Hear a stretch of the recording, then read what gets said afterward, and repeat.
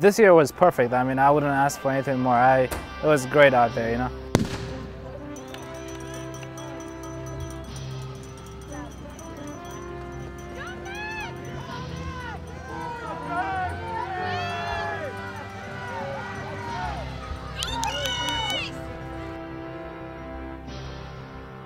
I mean, this this guy, they're all they're all amazing, you know. They all run um, uh, low 1530, so I mean, I was expecting for a big pack, uh, and I was just waiting for the right time, you know.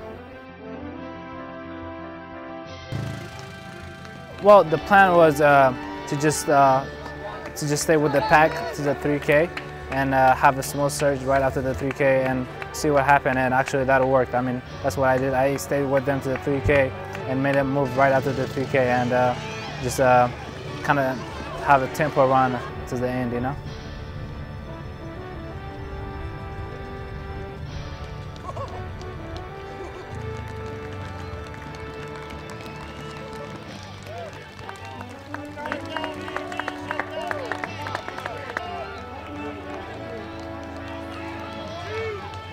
Keep